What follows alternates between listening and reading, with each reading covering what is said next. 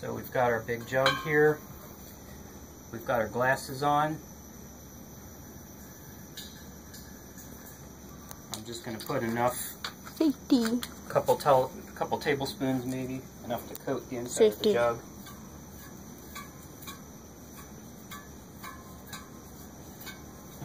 And dump out the extra.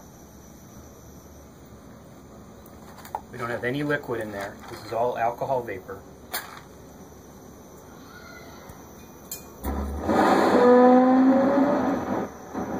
That is cool.